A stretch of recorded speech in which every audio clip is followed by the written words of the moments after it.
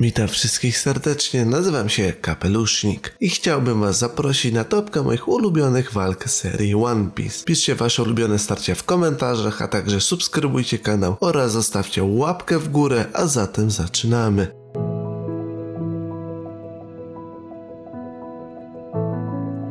Otwieramy listę walką niezwykle dla mnie ważną, ponieważ nie treska ona niesamowitymi oraz efektownymi akcjami czy licznymi plot twistami. Skupia się ona bardziej po prostu na zwykłej relacji między postaciami oraz historii jednego z nich. W filmie o najsmutniejszych backstory już trochę opowiadałem o seniorze Pinku i nadal podkreślam, że zasługuje on i jego historia na osobny film. Natomiast jego retrosy bardzo dobrze podkreślają, czym była ta walka.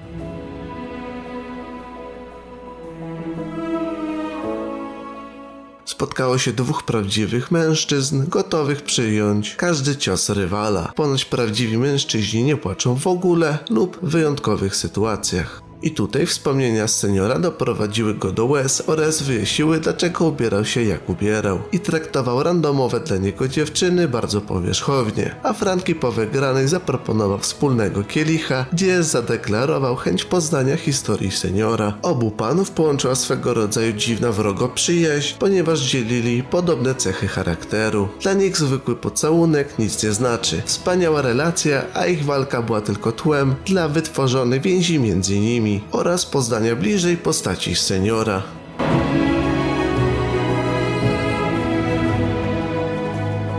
Dlaczego ta walka jest na tej liście? Cóż, nie za często ją spotykałem w jakichkolwiek listach czy w ogólnych dyskusjach, a ja osobiście ją uwielbiam. Jest to jeden z niewielu przypadków serii, gdzie Luffy'ego z przeciwnikiem nie łączy żadna relacja. Od spotkało się dwóch potężnych piratów i każdy ma swoje powody, by wygrać walkę bez zbędnego zagłębiania się w uczucia oponenta. Kraker nie jest dla Luffy'ego żadnym rywalem, wrogo przyjacielem, wujkiem, stryjkiem, kumplem czy tam czymkolwiek jeszcze. Nie połączyła ich żadna relacja i dlatego owy pojedynek się tutaj znalazł a do tego Cracker był potężnym wyzwaniem dla gumiaka. Luffy, gdyby miał więcej czasu w trybie czwartym, w tamtym momencie pewnie by mógł wygrać pojedynek, ale bez tego potrzebował pomocy Nami. Jak sam Luffy stwierdził, na moment ich starcia Cracker posiadał najpotężniejsze zbrojenie, jakie póki co spotkał. Sam słodki dowódca był w stanie walczyć z trybem czwartym na spokojnie i padł dopiero po potężnym Cannonball. Ich konfrontacja jest idealnym przykładem zwykłego pojedynku dwóch silnych postaci bez tła emocjonalnego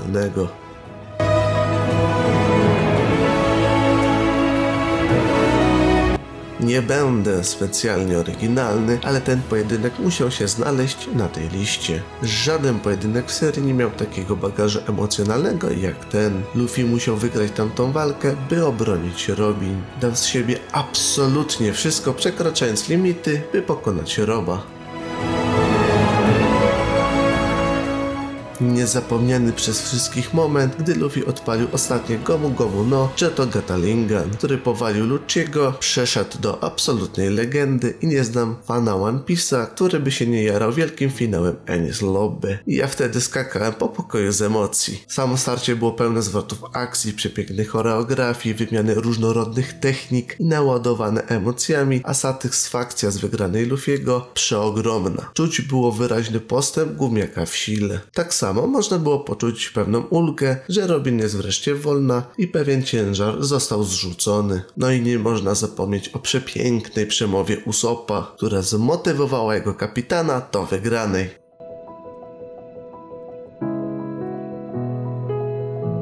Pewnie dla wielu jest to spora niespodzianka, a bardziej mam tutaj na myśli wersję z anime. Pan Hazard już było czasem, gdy jakoś anime już od dawna szwankowała. Jednakże owa walka była bardzo dobrze zrealizowana przez studio Toei. I z tego co pamiętam, walka względem mangi została wyraźnie rozszerzona. Dodajmy do tego nietypowy owoc Loa i logię Smokera, a otrzymamy przepiękne niestandardowe kombinacje z użyciem haki oraz ich owoców. Dlaczego jeszcze tak bardzo lubię ich ich pojedynek, gdyż to znowu jest konfrontacja dwóch postaci bez żadnych związków między sobą, a do tego dochodzi trzeci aspekt. Wygrana w nietypowy sposób. Low wygrał odbierając Smokerowi serce, uprzednio stosując odpowiednią do sytuacji taktykę. Powiem jeszcze, że od aspektów wizualnych na pewno trzeba również zaliczyć styl walki Lowa. Jest on przepiękny, a zarazem wyraziście widowiskowy dla samego oka.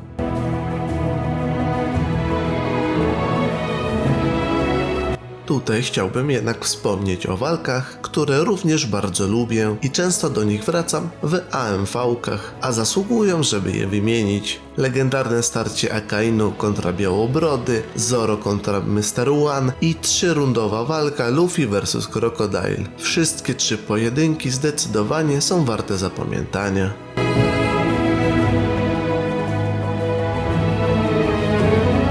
Wszyscy lub większość z Was wie, że uwielbiam Cake Island. Jest to mój ukochany ark nad życie. Nie byłoby inaczej, gdyby nie główna walka tego arku, nie byłaby też moją ulubioną w serii. Kolejny pojedynek na tej liście, gdzie spotykamy starcie prawdziwy mężczyzna kontra prawdziwy mężczyzna. Więź, jaka połączyła Luffy'ego z Katakurim, zdecydowanie stworzyła coś więcej niż zwyczajną rywalizację. Jest to nawet coś w stylu przyjaźni, ala młody Roger i Białobrody aczkolwiek nie będę w szczegółach opisywał jak dokładnie do tego doszło, bo chyba większość z nas wie jak to wyglądało, aczkolwiek cała ich znajomość zaczęła się od pokazu siły oraz dominacji przez Katakuriego i doprowadziła do krytycznego momentu, gdzie Katakuri uznał Luffy'ego za godnego siebie przeciwnika, a reszta to już tak zwana historia. Na podkreślenie jeszcze zasługują dwa momenty.